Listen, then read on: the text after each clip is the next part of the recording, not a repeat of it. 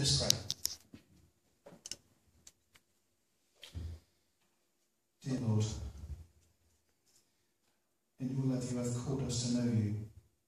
You led us to trust you and bind our lives with yours. Surround Sylvia with your love and protect her from all evil.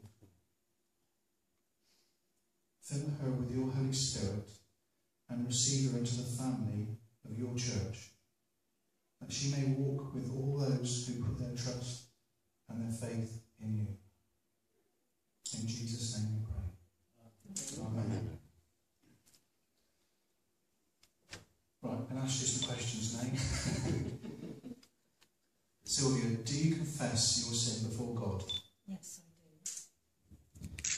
Do you believe that Jesus is the Son of God who came and died on the cross in your place? Yes, I do.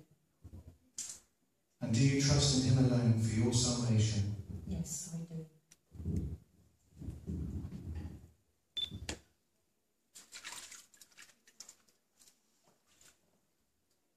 Sylvia, you've confessed your sin before God. And now we baptise you in the name of God the Father, God the Son, and God the Holy Spirit.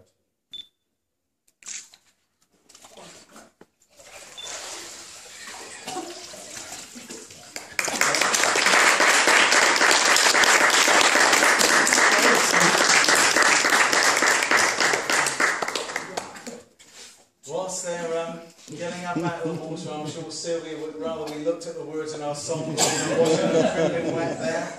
Number 59 from verse 2. Let's stand.